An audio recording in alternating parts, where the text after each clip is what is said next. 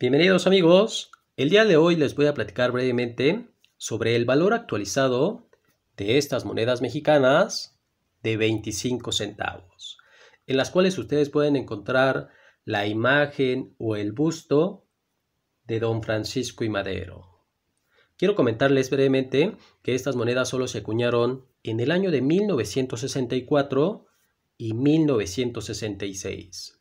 Son monedas que pesan tan solo 5.5 gramos, son de canto estriado, como ustedes pueden estar observando, tienen una circunferencia de 23 milímetros de diámetro y la composición de ellas es de una aleación de cobre y níquel, que comúnmente a este tipo de piezas con este tipo de aleación se les conoce como las monedas de cuproníquel.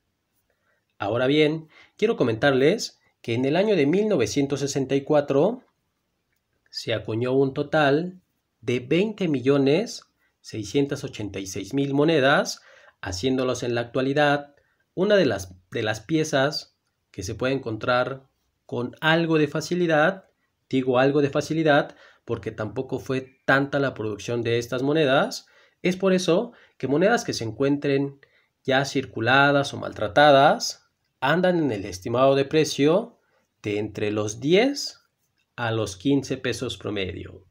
Ya que si ustedes llegan a encontrar o llegan a tener monedas que se encuentren en un mejor estado de conservación, este tipo de piezas se han comenzado a vender alrededor de los 20 pesos promedio. Ya que si ustedes llegan a tener monedas que se encuentren en excelentísimo estado de conservación y aún con su brillo original, ese tipo de piezas se están vendiendo entre los 30 y los 40 pesos. Pasemos ahora con la siguiente fecha de acuñación, que es la del año de 1966, que en este caso sería la más escasa y difícil de poderla conseguir, ya que el total de acuñación fue de tan solo 180 mil piezas. Como verán, es una enorme diferencia entre 20 millones y 180 mil piezas. Es por eso que esas monedas del año de 1966 andan arriba de los 120 pesos. Y aquí depende muchísimo del estado de conservación que tenga la moneda, el propietario y del coleccionista interesado.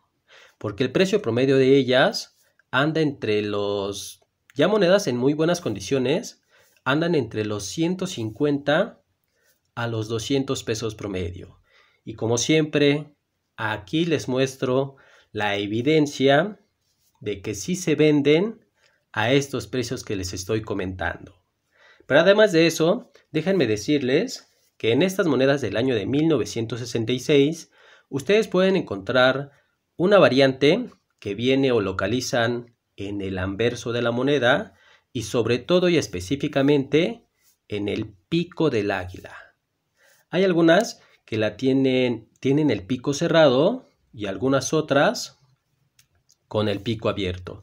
Tal y como ustedes lo están viendo en la imagen, las del pico abierto sería la variante que sería más escasa de poderla conseguir en comparación a la del pico cerrado. Y por consecuencia, el valor numismático de ellas eleva un poco su precio. Así que, amigos, ahí tienen la información sobre el valor actualizado de estas hermosas monedas de 25 centavos. Por mi parte ha sido todo. Espero les haya servido esta información.